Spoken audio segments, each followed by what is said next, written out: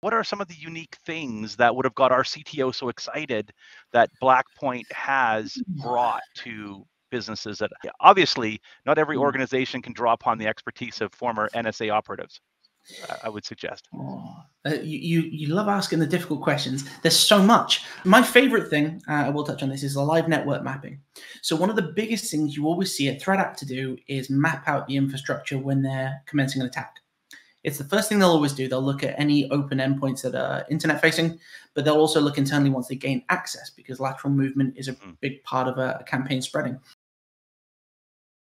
And I was just um, going to say, it's not obvious to everybody. They, they think about, you know, their Windows and MacBooks and their servers, but it can be their fish tank or their HVAC system or their whatever else in the in the network. Yeah.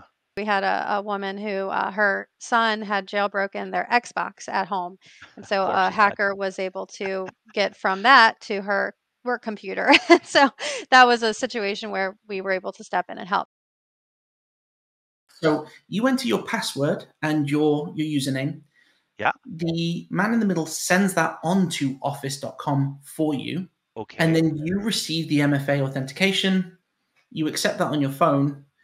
The authentication request is sent back, and the man in the middle captures the session cookies for your MFA authentication. And from there, oh what you goodness. do, is you paste them into your browser. You, yeah. By paste, I mean you genuinely paste them into your browser, refresh your browser, and you're logged into office.com as the, the user who's just logged in.